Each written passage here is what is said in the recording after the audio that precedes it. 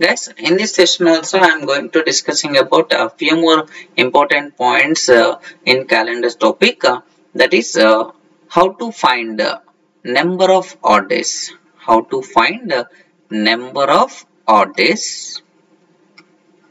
Number of odd days uh, for 100 years. How to find number of odd days for 100 years 200 years 300 years and also 400 years these four are very important. Uh, once it is done, then we'll go for problems.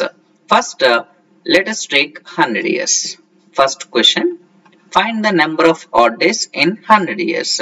Basically, in 100 years, basically in 100 years, we'll be having two types of years. One is normal year and another one is leap year. First, uh, you can separate leap years. After that, you can write down uh, normal years. Basically, in 100 years, how many leap years will be there? 100 divided by 4. So many students are doing mistake at this point only. They will think that uh, number of leap years is 25.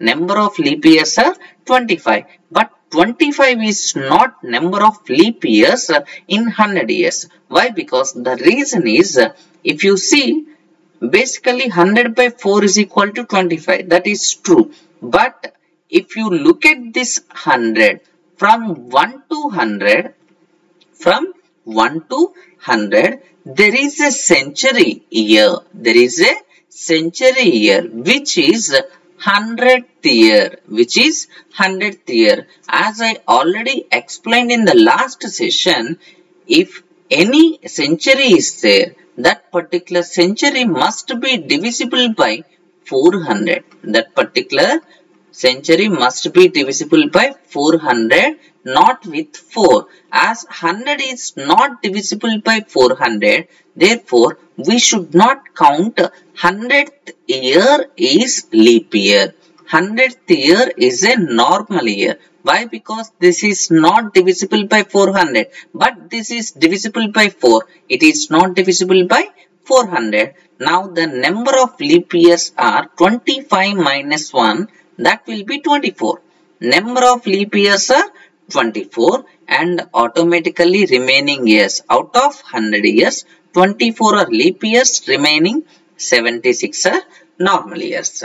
Now every normal year every normal year consisting of one odd day and leap year consisting of two odd days as we already discussed in the last session if you have any queries regarding that you just go through that session then it will be rectified every normal year consisting of one odd day every leap year consisting of two odd days so here we have uh, 76 normal years so you can multiply normal years with 1 and leap years with 2 so that you will get here 24 2 sir 48 days and this one is uh, 76 days. Now, all these are days. All these are days. Now, you can divide both the values with 7. Why? Because as you are calculating number of odd days, if you want number of odd days, definitely you need to divide uh, all the days with uh, 7. 76 divided by 7. What is the remainder value? Remainder value is called as uh, odd days. Here 76 by 7 odd days are 6. Why? Because remainder is equal to 6. Whereas in this case, uh, we have to add these two. Why? Because uh, 100 is divided into two parts. Similarly, 48 divided by 7. 7, 6, uh, 6 weeks, 42 days plus extra 6 days. 6 plus 6, which is equal to 12. Again, this value is cross as 6. Again, divide this value with 7 so that you will get a remainder is equal to 5. This 5 is called as uh, number of uh, odd days. Number of odd days, number of odd days in 100 years. Number of odd days in 100 years which is equal to 5. Number of odd days in 100 years which is equal to 5. Similarly, we will calculate for 200. Similarly, we will calculate for 200, 300 and also 400. Let us take second one is 200 years. Again do the same process. Here we have normal years and uh, leap years. First, uh, let us take uh, leap years. 200 divided by 4 which is equal to 50. But out of these 200 years, out of these 200 years, there are two centuries that is 100 and 200. 100th year is there, 200th year is there. These two centuries are not divisible by 400, are not divisible by 400. That is the reason why we should not take uh, these two. Therefore, number of leap years, number of leap years that is 48. Automatically remaining 152 years are normal years. Every normal year consisting of one odd day and leap year consisting of two odd days. Here it is 152 divided by 7 and this value is uh, 96. 96 by 7. Here 152 divided by 7. Here it is how many times it will cancel? 2 and after that uh, 1. 21 times and the remainder is uh, 5. Remainder is 5. Again uh, here 7, 7 13s, uh, 7 13s, uh, 91. So the remainder is again 5. 5 plus 5 is equal to 10. This value always less than 7. So again divide with uh, 7 which is equal to remainder is uh, 3. 10 by 7 which is equal to remainder 3. Number of odd days in 200 years. 200 years odd days. Uh, that is equal to 3. For 100 years number of odd days are 5. For 200 years number of odd days are 3. Now let's see 300 years. Third one 300 years.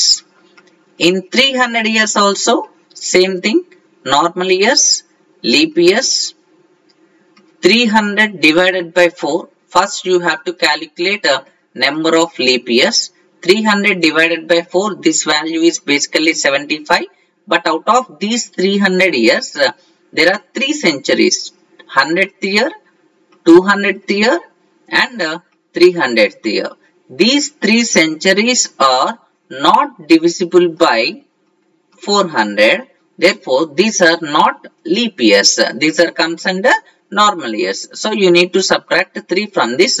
Therefore, number of leap years are 72. This is 72 and automatically remaining 228 are normal years. Now, you can multiply every normal year consisting of one odd day and leap year consisting of two odd days. This is 144 and this one is 228.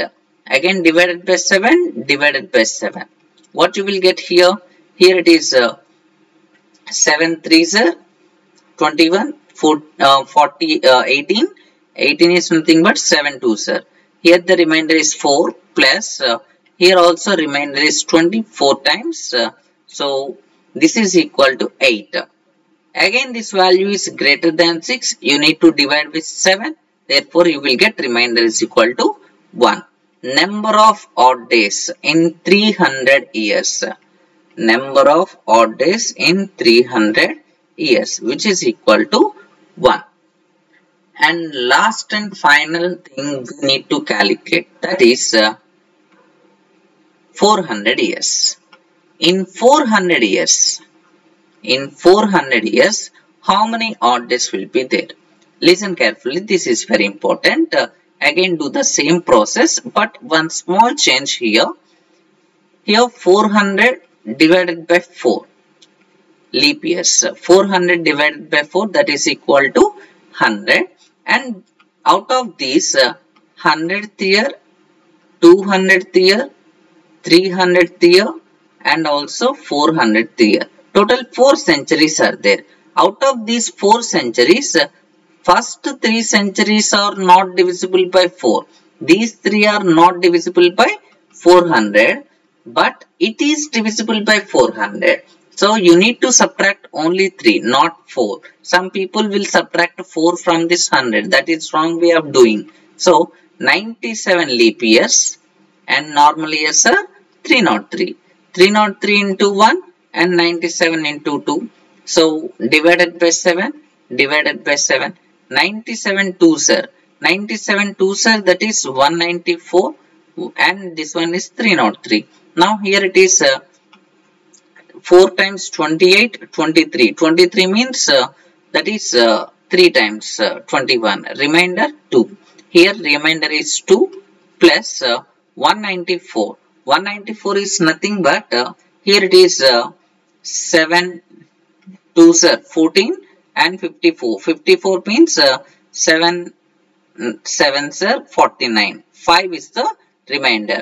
2 plus 5 which is equal to 7 days 7 days is nothing but uh, 1 week. 7 days is nothing but 1 week. It means that uh, number of odd days are 0 number of odd days. Remainder is 0 again you have to divide 7 by 7 you will get quotient is 1 but remainder is equal to 0 therefore number of odd days in 400 years. 400 years number of odd days are 0 right? In this way you can calculate 400 years odd days. Now i will compare all those four. First 100 years 200 years 300 years 400 years again 500 years 600 years 700 800 next 900, 1000, 1100, 1200 and so on and so on and so on. Here it is 1600, 2000, 2400 and so on. See, number of odd days are 5 for this column and next number of odd days 3 for this column number of odd days 1 for this column and number of odd days are 0 for this column. See, one thing you must notice is for every 400 multiple, for every 400 multiple of years, number of odd days are always uh, 0. Number of odd days are always uh, 0 for every 400 multiples of years. For every 400 multiples of years, number of odd days are 0 and for 100 years uh, that is 5, 200 years that is 3 and 300 years that is uh, 1.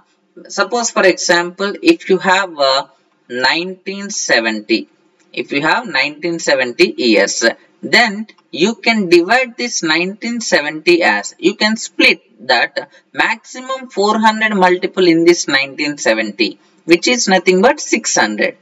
After that again add 300 to this. After that again add 70. 1600 first you can write maximum 400 multiple. After that maximum century. After that remaining years left over. Here for these days for 1600 years. For 1600 years number of odd days directly 0. For 300 years number of odd days 1. Now you need to find number of odd days for only this number. In this way you can uh, easily get uh, these number of odd days whenever you are solving the problems. guys, I hope you enjoy the session. Thank you. Thank you very much for watching.